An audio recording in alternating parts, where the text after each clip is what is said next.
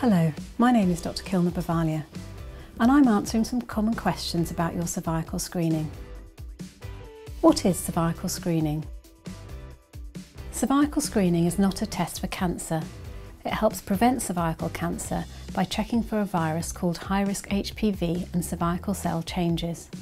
The test only lasts a few minutes and you only have to go once every three or five years, depending on your age and where you live in the UK.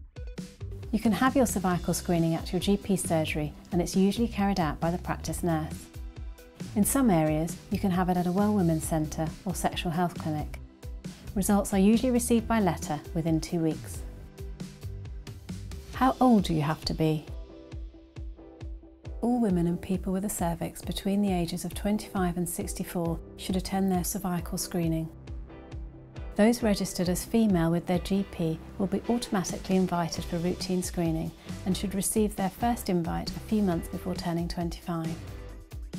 Trans men registered as male with their GP aged 25 to 64 are eligible for screening if they have a cervix. They can arrange to have screening with their GP practice or a local sexual health clinic. Is it painful?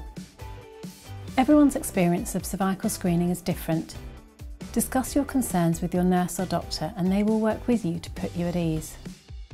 Some may experience discomfort when the speculum is inserted. You can ask your nurse or doctor for a smaller speculum and they can advise you on different positions to make it more comfortable. They can also recommend breathing techniques to help you relax. Remember, you are in control and can stop the test at any time. Do I need to do anything in preparation? If possible, schedule your appointment on a day when you are not having a period and avoid the test two days before or after your period. Please don't use any vaginal medications, lubricants or creams in the two days before you have your test because they can affect the results. If you're embarrassed about cervical screening, then you're not alone. Talk to the nurse or doctor doing the test and they can help put you at ease. I hear a lot about HPV, but I don't know what it is. HPV is short for human papillomavirus. It is a common virus which most people will have at some point in their life without knowing. HPV lives on our skin, so it is easy to get and difficult to completely protect against. HPV is spread through close skin-to-skin -skin contact during any type of sexual activity and can stay in the body for many years. It can stay at very low or undetectable levels and not cause any problems. However, sometimes it can cause abnormal cells in your cervix to develop. These can, over time, turn into cancer if left untreated.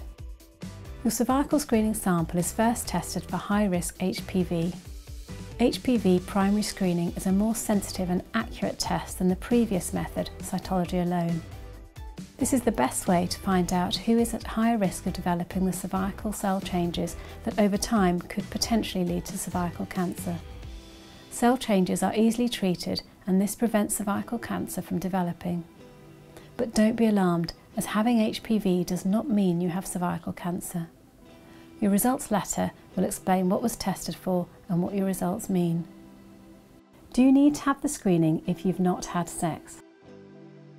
NHS advice is that all women and people with a cervix between the ages of 25 and 64 should attend their cervical screening when invited regardless of whether they are sexually active.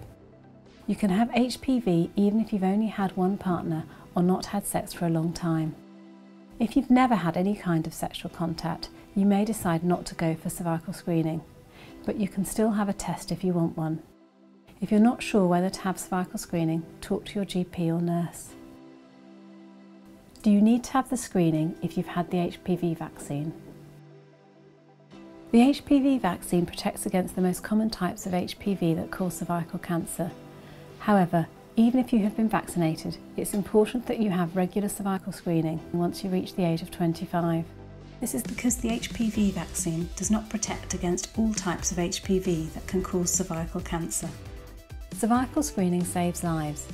Don't ignore your cervical screening invite and book an appointment with your GP practice or local sexual health clinic now if you missed your last one. Cervical screening can help stop cancer before it starts. Find out more at nhs.uk forward slash cervical screening.